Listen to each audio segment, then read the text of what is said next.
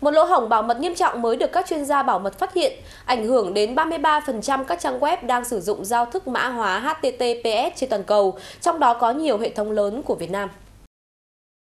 Lỗ hổng bảo mật này được đặt tên là Drown, cho phép các tin tặc có thể giải mã các dữ liệu đã được mã hóa trong quá trình truyền tin từ máy tính của người dùng đến máy chủ và lấy cắp các dữ liệu quan trọng như thông tin thẻ tín dụng, tên đăng nhập, mật khẩu email.